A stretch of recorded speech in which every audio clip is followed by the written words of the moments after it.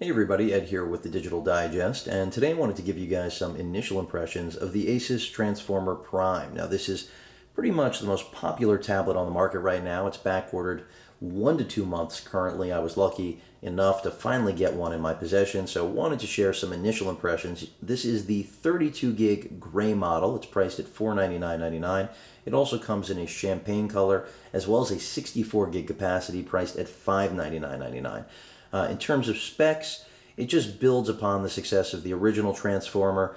Uh, first and foremost, it is running Honeycomb 3.2 out of the box, but it will get Ice Cream Sandwich on January 12th. So this will be the second device out there on the market and the first tablet to run Ice Cream Sandwich, which is pretty important.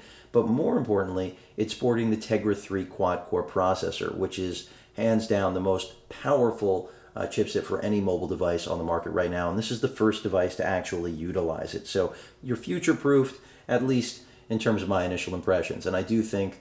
Uh, that platform is critical going ahead, uh, not only for things like multitasking and gaming, but true 1080p video output via that micro HDMI port on this device are really what you know the Tegra 3 represent as opposed to the previous generation, the Tegra 2.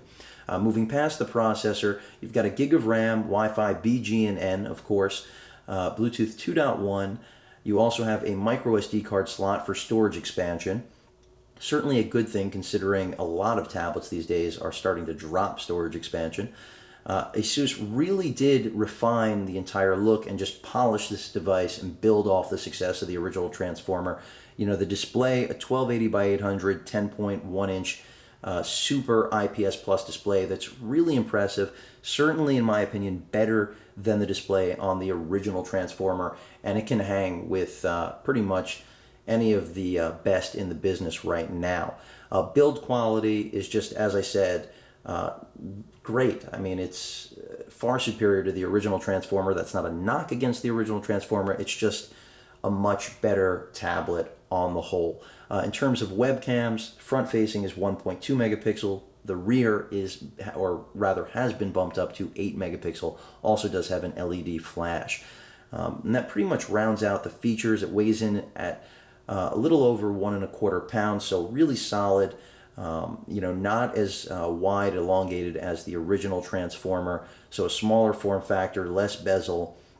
Uh, battery life is rated at 12 hours. I'm expecting something more along the lines of 10 to 11, but we'll see. As you can see right now, I'm at 25%, but I just uh, started using the device. I haven't even cycled through the battery life yet. Just wanted to give you guys uh, some initial impressions. Let me go ahead and show you guys the product since I've pretty much given you all of the uh, specs. As you can see, again, really nice display. Uh, it does have uh, Gorilla Glass uh, over it, so uh, good to know, but something I think also many of you have come to expect.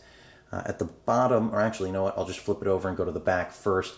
Back of the device, you can see we've got the uh, Asus branding as well as this um, metallic ring uh, that they've described it as, and it's just really solid. Uh, looks good, feels good, nothing bad to say about it. The 8 megapixel cam you can see up at the top with the LED flash. The top of the device, you've also got a power button with an LED for uh, notifications, both with regard to charge as well as just general notifications. Your volume rocker is right here, micro HDMI output there. The micro SD card slot you can see right there. And then um, already showed you guys at, or no, I did not. The bottom has the charging port as well as the uh, two connecting ports for the keyboard docking station. Of course, this is a transformer after all. Uh, you then also have a speaker right here. Can't really give you guys any impressions on sound as of yet in terms of quality.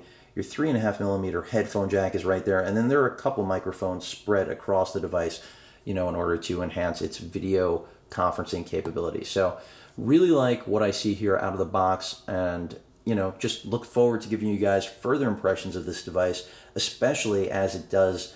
Uh, you know, get that over the air ice cream sandwich update. If you guys have any questions or comments, please feel free to post them. And of course, as usual, please feel free to subscribe. Later.